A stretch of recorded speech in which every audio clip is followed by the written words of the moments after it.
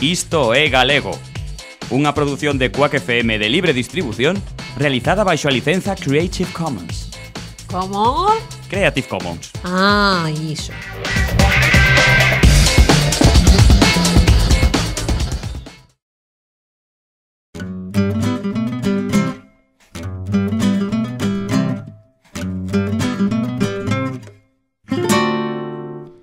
Isto é galego e atopámonos nunha cova, nunha pala do programa, na de infiltrados, onde se agochan esas palabras que nos queren confundir e de onde tratamos de sacalas á superficie eh?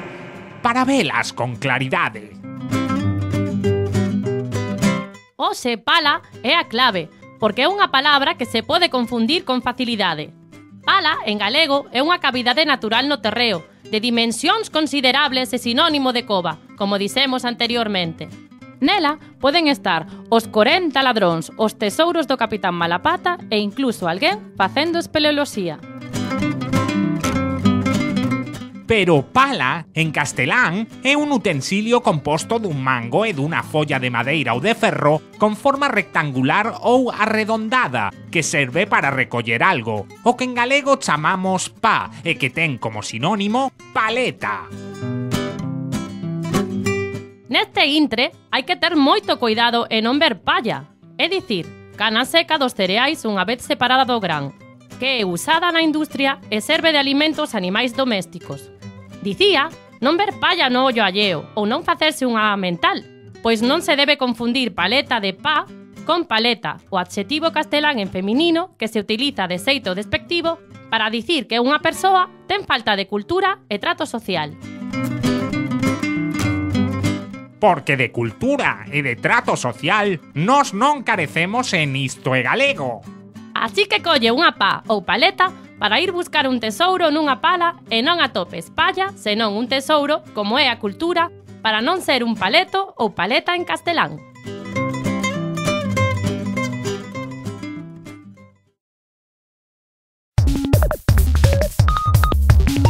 E agora vamos co Galegotron, unha sección de Isto é Galego na que traducimos contidos en castelán á lingua galega. El extremo izquierdo, nacido en Castrillo de los Polvazares, tras un duro día de entrenamiento en el campo, se tumbó en el sofá para ver su escena preferida de Terminator, aquella en la que el protagonista dice Sayonara Baby. E agora, en galego. El extremo izquierdo, nacido en Castrillo de los Polvazares, O Robiño de Castriño dos moitos post Tras un duro día de entrenamiento en el campo, Tras traballar como unha burra todo día na leira, se tumbou en el sofá para ver su escena preferida de Terminator. Tumbouse no sofá para ver a súa escena preferida de Terminator. Aquella na que el protagonista dice, Sayonara baby. Aquela na que o protagonista di, Arrañala raparigo. O Robiño de Castriño dos moitos pós, tras traballar como unha burra todo día na leira, tumbouse no sofá para ver a súa escena preferida de Terminator, aquela na que o protagonista di, Arrañala raparigo. Galegotron. Segue os nosos consellos e rematarás sendo máis enxebre que o polvo a feira.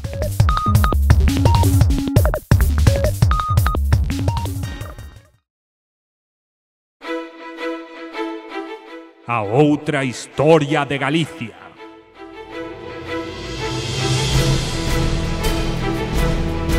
Baixo medievo. Goodbye Portugal.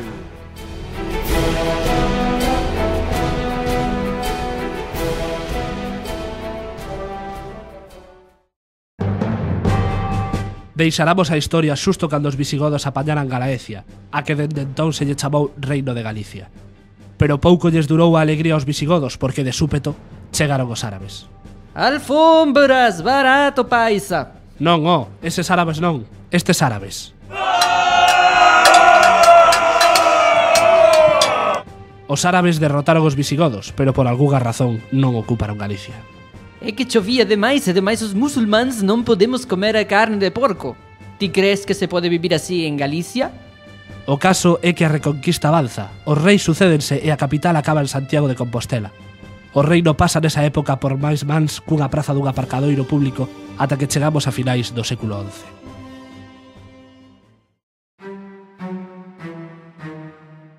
Por aquel entón, o galego portugués era a lingua da corte de Alfonso VI. Eh! Eu, que pasa? Alfonso VI era rei de Galicia. Oh, chupadesa, son o rei.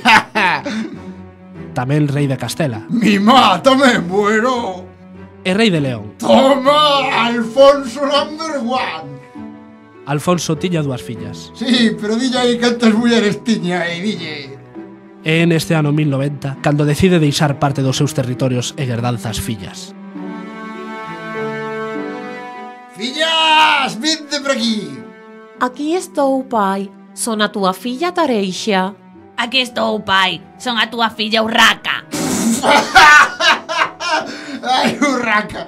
Levo desde que naciches oindo o teu nome e aínda me parece ridículo. Pois eches ti, que son meu pai. Por que me chamaches como unha ave carroñeira? Ademais, na túa corte falase o galego. En galego dice pega. Muller, en castelán pareceume máis exótico. Urraca. bueno, bueno, bueno, a ver. En fin, fillas, son o rei de tres reinos. Nos tres cómese ben. Teñen bo viño e mulleres fermosas. Non hai que ser un xeño para decatarse de que vou vivir pouco. Por iso decidín deixarvos o reino de Galicia. Moitas grazas, pai, pero como se supón que imos gobernar eu e máis urraca á vez? Mete a tu irmão unha gallola. Urraca! Xa está ben, non? Está todo pensado. Dividiremos o reino polo río Miño. O norte para Tereixa e o sur para Gaivota. Chámome Urraca! Pero eu non quero o norte. Sempre está a chover. Botan 4 horas para comer. E dis que hai un tal Xelmírez que manda máis que os nobres. Eu quero ir ao sur, que hai toallas baratas e viño do Porto. Eu non quero ir ao sur. Ali só comen bacallao, que noxo. E conducen os cabalos como a tolos. Eu prefiro ir ao norte, coas súas praias e festas gastronómicas case a diario. Ui, quereria, pois cambiado reinos e pista. E así Galicia e Portugal dividíronse ata hoxe. O territorio que algún día sería Portugal pasou a estar gobernado por Dona Tareixa e Galicia por Dona Urraca. ¡Urraca! Urraca acabaría herdando tamén Castela e León. Isto provocou que Galicia e Portugal tomasen camiños distintos tanto no político como no lingüístico. Tras o fracaso das revolucións irmandiñas, o reino de Galicia foi incorporado á coroa de Castela e, desta guisa, chantámonos na idade moderna.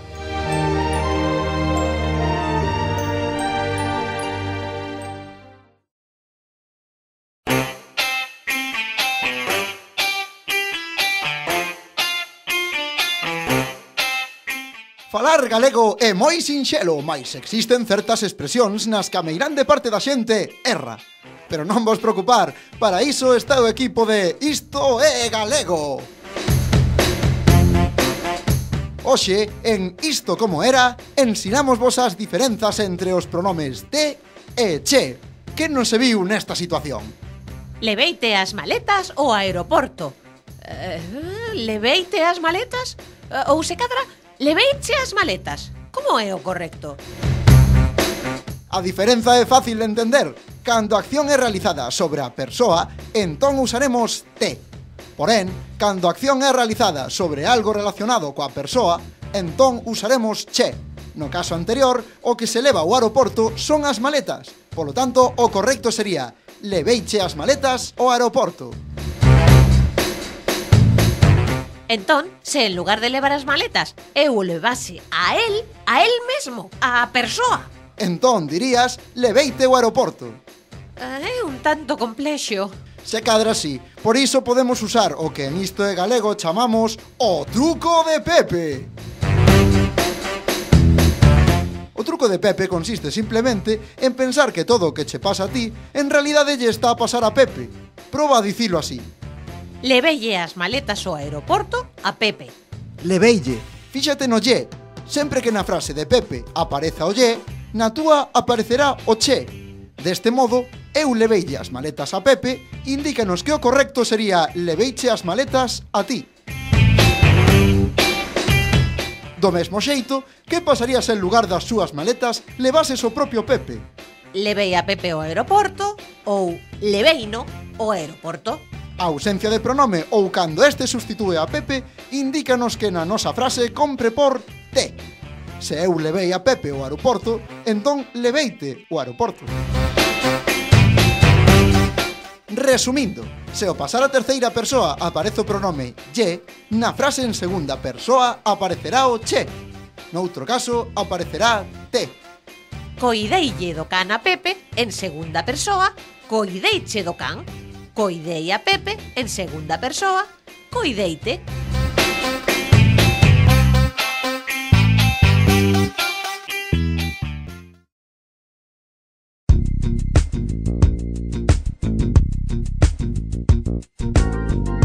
Chámome Rebeca Maquina e ando á procura dunha perigosa sociedade secreta que pervirte a mente das persoas dende a Altidade Media, os contadores de historias fomentan perigosos valores como a imaginación e o coñecemento, empregando para elo a ferramenta da lectura.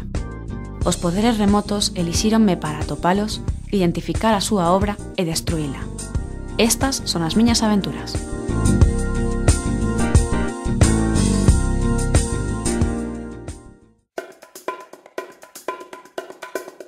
O perigo das bolboretas de Monte Alto, recibín un sopro acerca de algunha actividade perigosa preto do barrio de Monte Alto, na Coruña. Alí, supostamente, nacera un escritor, periodista e ensaísta, un axitador, vaya. O seu nome era Manuel Rivas. Segundo me contaran, era o primeiro escritor o que perseguía que aínda estaba vivo, así que tiña que ser máis cautelosa, sobre todo tendo en conta que sempre fracaso. Naceu no ano 1957 e aínda que comezara a escribir poesía, nos anos 90 decantaríase pola escura arte da narrativa. Dixeronme que escribira unha serie de contos chamada Que me queres, amor? E decidinme a mercala. Constaba de 16 pequenos contos, un deles, A lingua das bolboretas, incluso deu lugar a unha película. Tamén lin unha novela chamada O lápiz do carpinteiro. Conclusión do expediente. Un estilo demasiado transparente para buscarlle as cóxegas, unhas narracións demasiado ligadas á terra como para destruílas. Abandonei, pois, a misión, sen resultados, como sempre. Expediente arquivado.